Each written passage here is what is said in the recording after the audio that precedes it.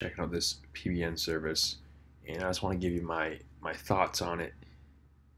You know what to avoid when purchasing PBN links. So um, we're here on on uh, Black Hat World looking at Dragon Lube's PBN service. Um, scroll down, some metrics, very impressive off the start. DA 50 plus, um, DR 30 plus.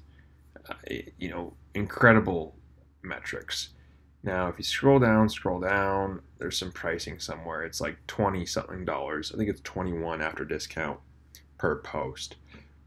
Excuse me. So, very, uh, you know, a higher end PBN, but it, it's justified, right? The metrics DR30 plus, DA50 plus, RD 600 plus, you know, these are metrics wise amazing sites.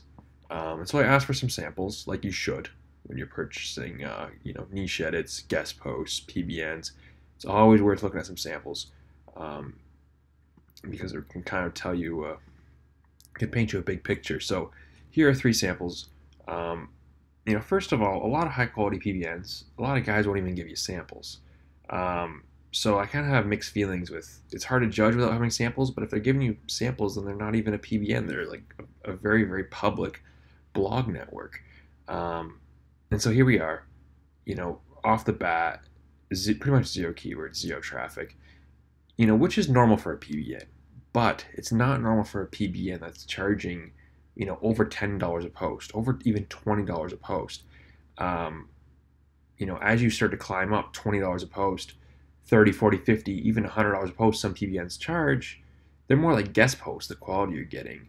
Um, but you're, you're expecting traffic, right? Like there's no difference between, you know, a zero. There's very little to gain between you know this site and a site with zero traffic and and 10 DR. You know, it's just it has more. So this tells part of the picture, but I already know what I'm going to see because I, I, first of all I've looked, but even before then I knew what I was going to see when you when you pull up the big picture here. We'll pull up any of these, um, and you can see you you see a graph like this, it's spammed if there's any sort of jump in referring domains, it's spammed. And so it's really unfortunate that someone like this is selling on Black Hat World. It's mislabeled, like it's very mislabeled. It's misinformed. Like it's, it's. I don't want to say it's this. It is this. It probably is a scam. It's deceitful, I guess. So, um, you're, you know, someone who wouldn't ask for samples and just goes off of metrics. You know, I guess there's a saying of a man and his money are soon parted or something like that. Um, where you know if if you come along and you don't know what you're buying, you're gonna lose your money. So, um, kind of just wanted to give you my thoughts. This service, you know, I know this guy has some other better services, but you know, when you're looking at these PBNs in this price range, they can be worth it. Um, you know, Hardcore Biker is one of the a, a, decent provider on here. Hatred. There's probably many more. I, I, try to test as many as I can, but there's so many always coming out, and it just takes a lot of work to sort through the, the garbage. Um, and even then, a moderator said um, the PBN, like three of the domains have the same IP address. Like, what is that? You know, and, and the registrar is the same for all domains. That's insane. That is so. It's, it's all the. It's not even like it shares. You know, all the domains share three registrars or something simple. They literally all use the same registrar for all the domains. Which, you know, like I said, you might expect that kind of garbage if you're paying a dollar a PBN. But you're paying 24 25 whatever it is, $21 for a link. You expect uh, you know, something a little better. Um, and so I don't really there's no real use for something like this. The problem is like if they were a lot cheaper, you could send these as tier 2 and they'd be fine.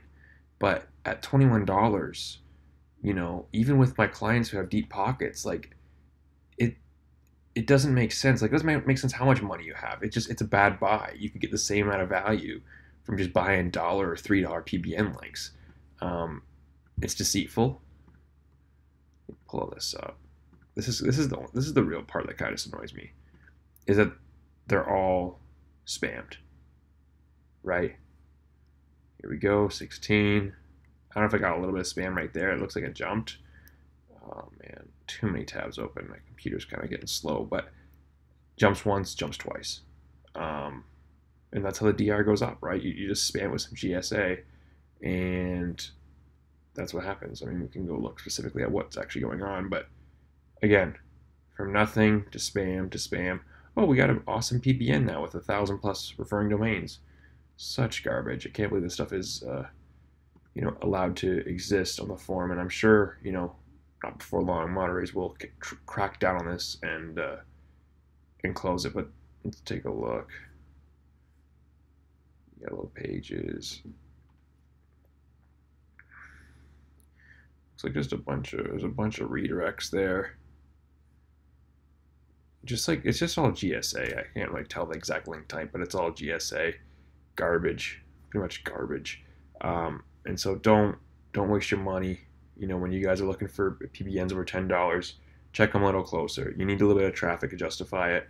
Otherwise, you know, just go for something cheaper. So, anyways, guys, I'll talk to you later.